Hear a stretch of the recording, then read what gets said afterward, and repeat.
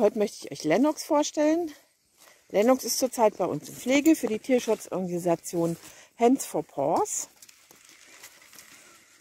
Wir suchen für Lennox ein gutes, schönes, neues Zuhause. Und deshalb möchte ich euch jetzt mal ein paar Eindrücke von dem guten Knecht zeigen. Lennox ist ein Magierwischler. Er ist fünf Jahre alt, relativ frisch kastriert. Lennox ist zurzeit noch ein bisschen sehr dünn. Wir arbeiten gerade dran, das Ganze ein bisschen zu normalisieren. Aber das wird. Wie ihr hier seht, er läuft mit anderen Hunden im Freilauf. Und auch wenn er an der Leine ist, ziemlich gut. Das funktioniert alles einwandfrei. Wenn wir einen Fremdhund begegnen, dann ist er oft noch ein bisschen unsicher. Aber das trainiert sich. Wenn er dann merkt, dass das alles okay ist, dann hat er damit auch nicht wirklich Stress. Er läuft auch im Freilauf mit den meisten Hunden. Bei kleinen Hunden muss man manchmal ein bisschen vorsichtig sein, weil wenn er meint, er könnte da was ausrichten, dann mobbt er auch mal ganz gerne. Emma! Emma!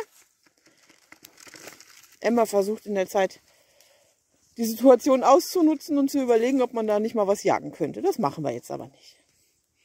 Ja, Lennox sucht ein Zuhause und möchte am allerliebsten Einzelhund sein. Lenny! Prima!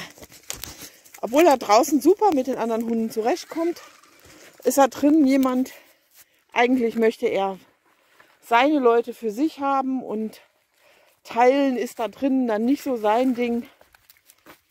Da wäre es ihm am allerliebsten, wenn er jemanden nur für sich beansprucht. Wenn er dann zu jemandem käme, dann wäre es toll, wenn es vielleicht eine souveräne, auch nicht zu kleine Hündin ist, damit er die nicht einfach unterbuttern kann. Ansonsten ist er, wie man gerade hier, glaube ich, ganz gut sehen kann, durchaus jagdlich interessiert.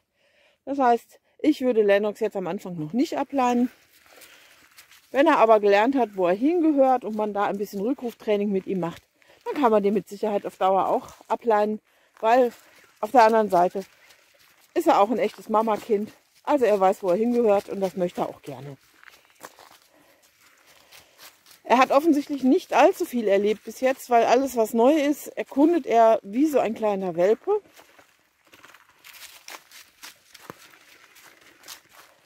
Also fliegende Blätter, Gras, plätscherndes Wasser. Alles ist, als würde er das zum ersten Mal sehen und muss erkundet werden und bespielt werden. Da ist er also wirklich noch wie so ein kleines Kind, obwohl er schon fünf ist. Also, wenn ihr wisst, wo vielleicht ein schönes Zuhause für Lennox ist, er ist echt ein treuer Begleiter und er wäre mit Sicherheit ein super Hund.